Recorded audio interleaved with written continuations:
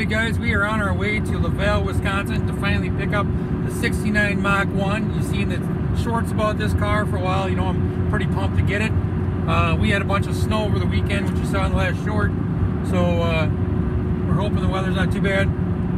They show them the interstate. Uh, the interstate's nice and dry, so there's no salt really. I mean, I'm hoping that uh, we won't get much on the car. We'll have to rinse it off when we get home. But anyway, we uh, talked to the guy we're getting it from, and they don't have any snow up there, so we're hoping to get up there pretty quick, get it loaded up, get the motor loaded up, and then head back home, and then we'll do some more videoing.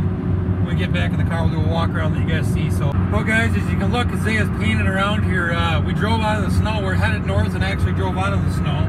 Uh, I know northeast here they got hit pretty hard, but seems like this little area here didn't get no snow at all. So that makes me pretty happy bringing the car home and the roads are clear. So we'll. Uh, get back with you as soon as we start loading things up.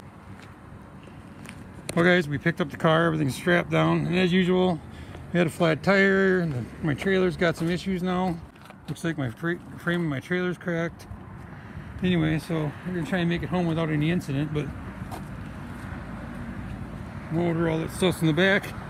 Super pumped except for that stuff, but what do you do?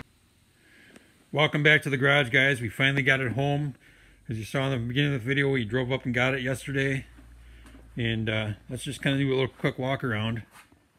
See, the front end's all been cleaned up, new metal all over the place. I got the cross support brace, I'm going to chrome that. New uh, dual master cylinder, there's a disc brake conversion in the front. Um, let's walk around here. New taillight panel, brand new door, fenders, inner fender wells, another fender, as you saw in the earlier thing, we're not going to go through every little detail because you guys saw the piles and piles of parts we brought home. Here's one door. The other door is still in the box over there for the driver's side. But, uh,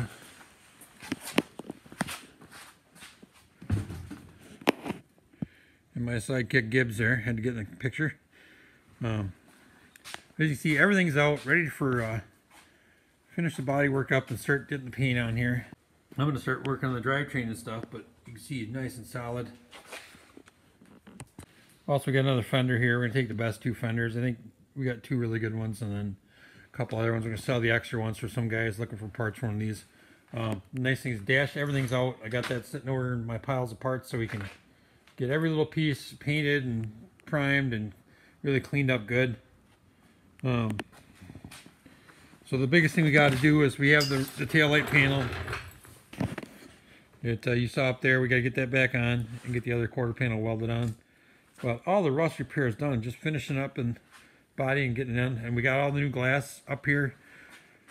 Well, not new, we got all the glass in great shape. Uh, it is tinted, we're going to get the tint off and have it retinted.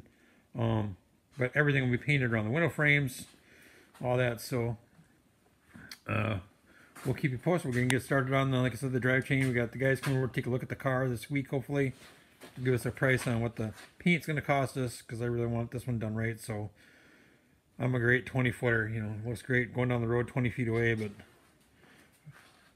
I want to get somebody that knows what they're doing to finish this one for me. So stay tuned and we'll uh, keep you posted here. Oh, and here's the, here's the rest of the parts. We've got a whole bunch of extra parts home. Again, Gibbs wants to be on the camera. New uh, emergency brake pedal and release heater box, all the stuff for that. Extra body patch panel there for the trunk area. The rear brake disc conversion kit. Extra wheels. 351 Windsor engine. um, yeah. So that's pretty much all of it.